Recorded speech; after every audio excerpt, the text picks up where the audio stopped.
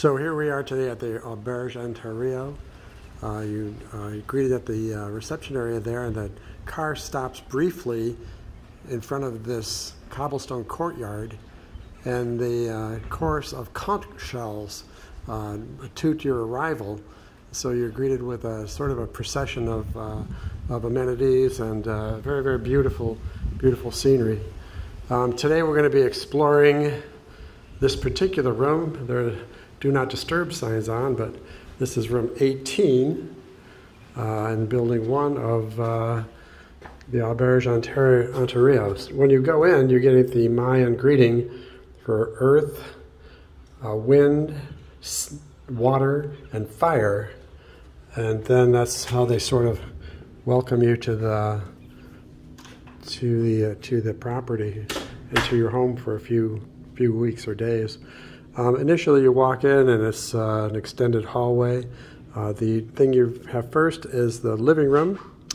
The living room uh, overlooks the balcony, and then, of course, there's a great big TV, and all these Mayan sort of accoutrements are just uh, really engaging. Everything means something. I have no idea what it means, but it's uh, culturally appropriate and very, very, very, very pretty. Good Lord.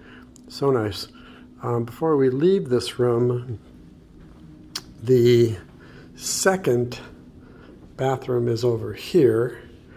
Uh, and then this is just a gigantic closet that uh, we couldn't even use. Just too big. Back to the living room for a second, with all the little baskets and books and things like that. This is the uh, beginning of the patio. Um, and overlooking the um, overlooking the beach, little sailboat out there. They go out there to a reef where they look at the different types of fish on the reef, including the stingrays, sort of a stingray beach. Um, this is the uh, a couch and a little picnic area with two chairs, uh, two more chairs and a table and two loungers, and the plunge pool at the uh, at the end of the deck.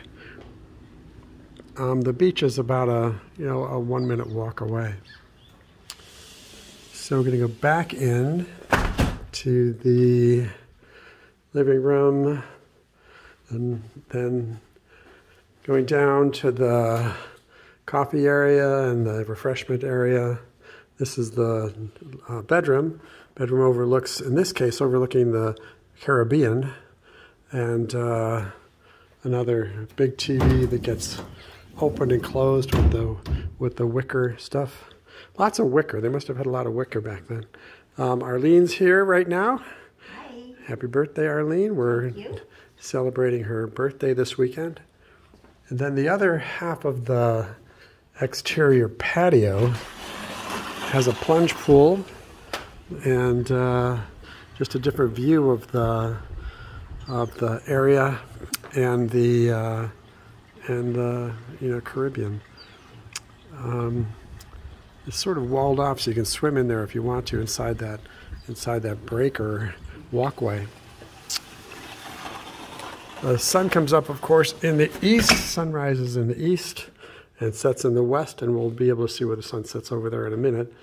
This is the uh, walk-in shower with one of the world's largest shower heads, a rainwater shower head.